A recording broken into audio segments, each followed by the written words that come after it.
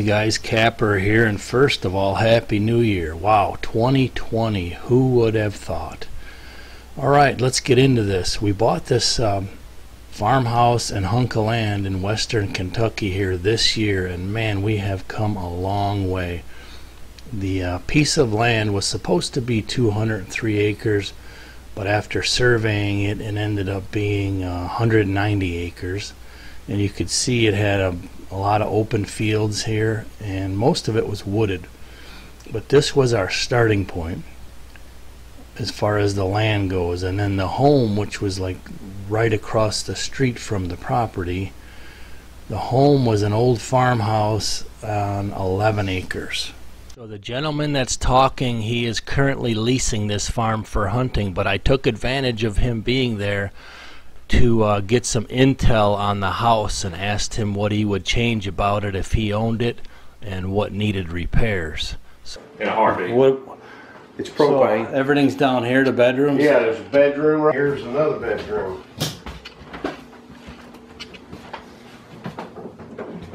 They didn't have the house last season, but I stayed September a lot, October a lot, and then pretty much the It is what it is. It is what it is. It's a built like 1958 or something like that. It's an old old farmhouse. So here's a before look at the backyard. Uh, we didn't waste any time. I mean, right now this is just piles of trash all around from the excavator and tractor and from the rehab. But this is what it looked like when we first bought it.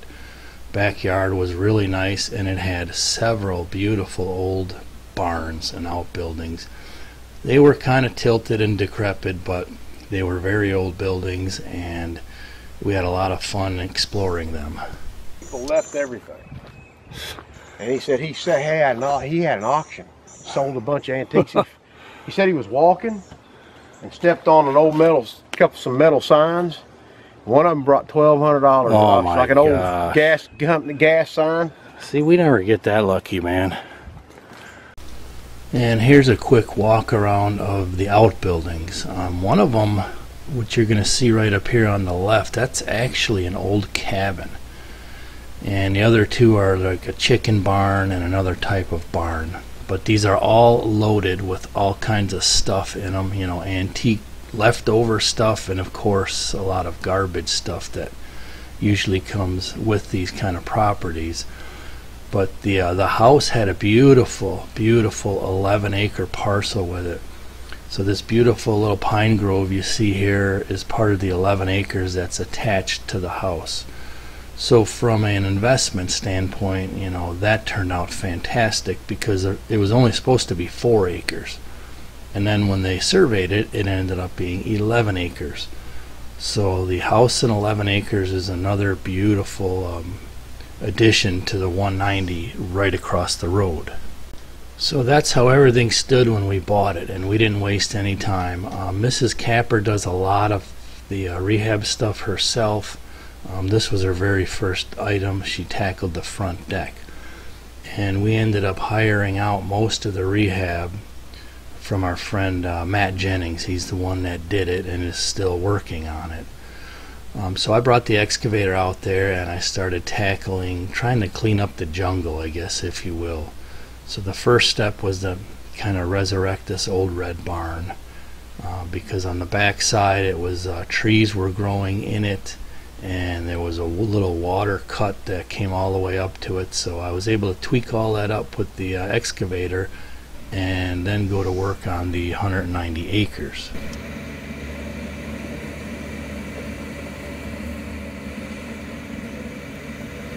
Right, and there's the finished product. It needs just a little more work on the dam out here. I don't see a uh, drop line, if you will, you know, where it was up a foot higher and it dropped, which is fantastic news right there. So along the way this summer, as we'd explore these barns, and we continue to, we would find uh, little treasures and old stuff that were really neat to keep. So then, as part of this investment, we found this rehab tractor that was uh, we purchased for a very reasonable price, and then again, Matt Jennings rehabbed it for us. So that's the tractor for this farm. So then Matt went to work on the rehab and kicked everything off on the farmhouse portion of things. And during that time, I went to work on the uh, farm with Iron Mike, working on food plots and stuff, which you'll see here in a minute. So the rehab consisted of basically redoing all of the walls, most every single window, all of the flooring. Here's where the ceiling fell in on Matt. And the ceiling hit the ground.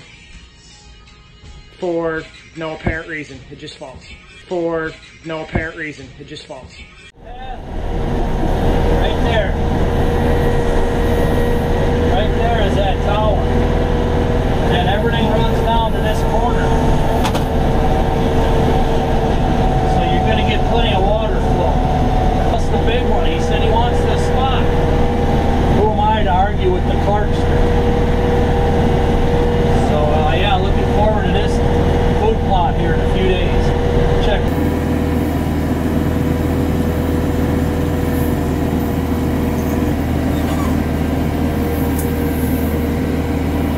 I hooked that can, which actually that's an old can right there. Look at that. Shame. Look at that. I always wanted these kinds right here. So then I started running trail cams, and to my surprise, there was a really nice batch of mature bucks already living on and around the property. That's very rare when you buy a property. Most of them are all shot up, and there's you know, maybe a few two year olds around, a three year old if you're absolutely lucky. But in this case, um, you know, no giants or anything like that really, but there's a nice batch to start with. Keep in mind, this is our starting point. And already this first year, um, I've harvested one buck, which you'll see in a minute, but other than that, there's been no hunting pressure whatsoever. So in a couple years, these bucks are just going to continue to increase the age structure and it should turn out to be an absolutely phenomenal farm here looking ahead. They're actually kitty corner. That one back there with the big wisdom oak tree and then this other one with a deer tower. We put uh we put brassicas. We put uh Should they start using it? Mean, usually you do this stuff much earlier in the season. I'm way behind, but this one got a bump out on it. Right over in there. Across from that tree stand yonder. Step, clover, chicory, and brassicas. And we will be out of here. this side of it. So when we have north winds coming this way, all of these deer are going to be upwind. And speaking of this brand new plot setup here, um, this is where I harvested the gnarly buck, my buck from Kentucky this year. Um, wasn't a giant, but he's going on the wall, very, very much different and a lot of weird character. So my first kind of weird buck like that that I've ever harvested. And now let's take a look at the rehab, how it's coming along here. So Matt has been basically working weekends, which, you know, makes things take a lot longer. But here's a few scenes along the way during updates of the rehab.